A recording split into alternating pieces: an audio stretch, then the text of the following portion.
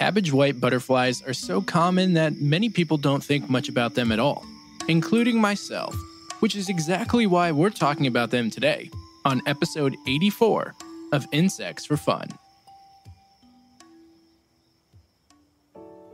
The species for today's butterfly is Pieris rapae, but the butterflies have a variety of common names depending on the country.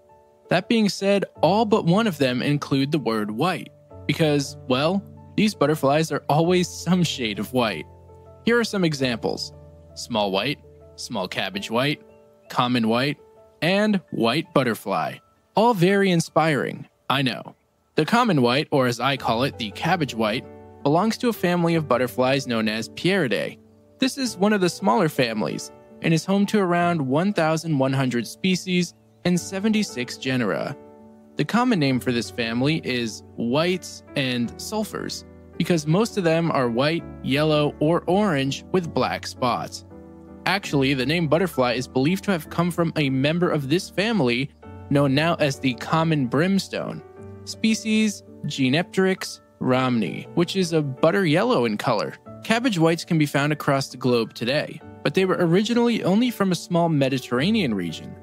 The butterflies first spread to Asia following their host plants, which belonged to the cabbage and mustard family, and were accidentally introduced into Quebec, Canada around 1860. After their introduction, the species quickly took over most of North America and even made its way to Hawaii before 1900. It's believed that one female is responsible for generations and millions of the cabbage white butterflies we can see today in North America.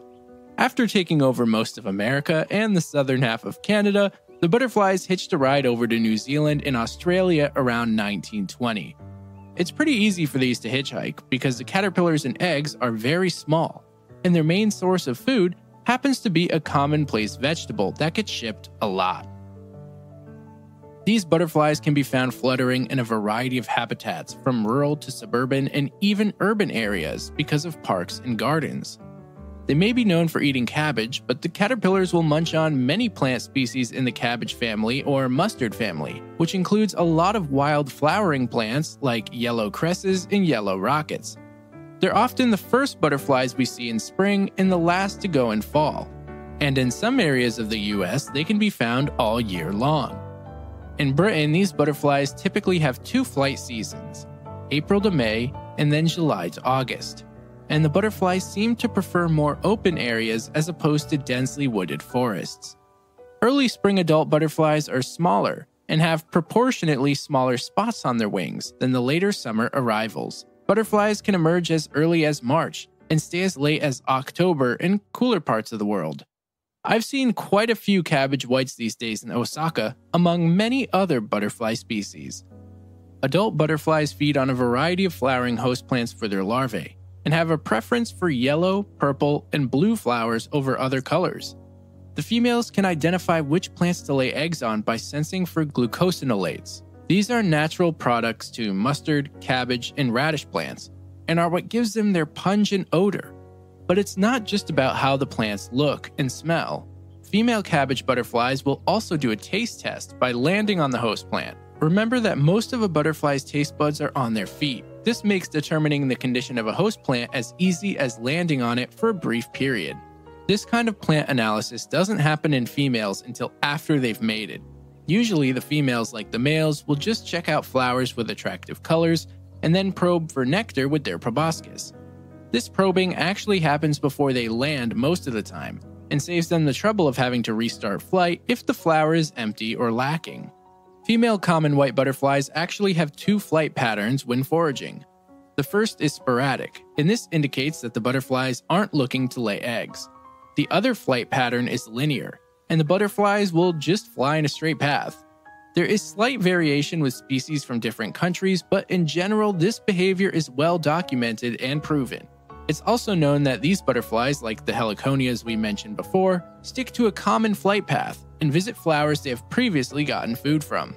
Something I found, which is pretty cool about laying eggs, is that females choose how many eggs to lay depending on whether or not the host plant is alone or in a group of others. Female butterflies lay their eggs singly and will lay a much larger amount together if the plants are grouped together, which absolutely makes sense.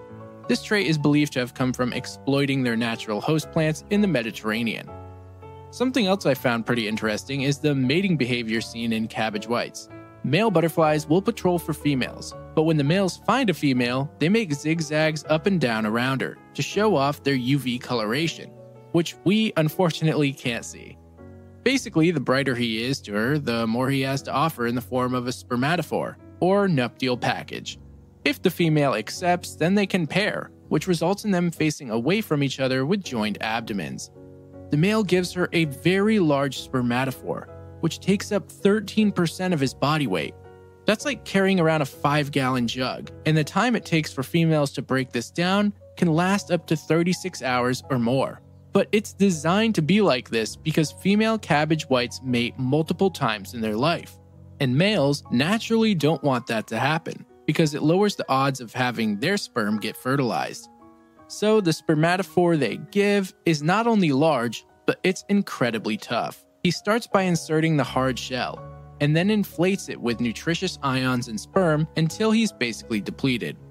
Female butterflies generally have a special pouch designed for this, called a bursa, which is honestly more like a stomach than anything else. And the cabbage whites have a special toothy structure inside called a signum, which breaks down this tough spermatophore. The sperm quickly swims away after it's been opened, and the bursa continues to digest and break down all the nutrients left behind. It's pretty wild, to say the least. So, now that we've talked about the nitty gritty of what goes on after their mating dance, let's look at the eggs. These are incredibly small, but if you get a close picture, they look like corn cobs. Apparently, females do not lay eggs if the weather is bad because the eggs are easily lost from hard rain or strong winds. The eggs are usually oviposited on the underside of leaves, so they do at least have some protection after they've been firmly attached. The eggs take between 4 and 8 days to hatch depending on the weather and temperature. Warmer weather will speed this up, and then the caterpillars need another few weeks before they can make a chrysalis. The chrysalids are made under the leaf of the host plant and change colors as they get older. This is the life stage where the butterflies overwinter in colder climates, and white cabbage butterfly chrysalids can survive minus 20 Celsius, or minus 4 Fahrenheit. That being said, I'm sure they can survive much colder because we've had some brutal winters in northern Vermont, and yet they're always there when spring finally comes around. It's possible the chrysalids fall to the ground and get buried under leaf litter, which provides some insulation and heat as the leaves decompose. I've never actually seen a chrysalis for these though, or at least I can't ever recall being like, wow, I found a cabbage white chrysalis. So let me know if you've seen them in the comments for this episode. We've talked a lot about what these insects eat, but we haven't mentioned what eats them.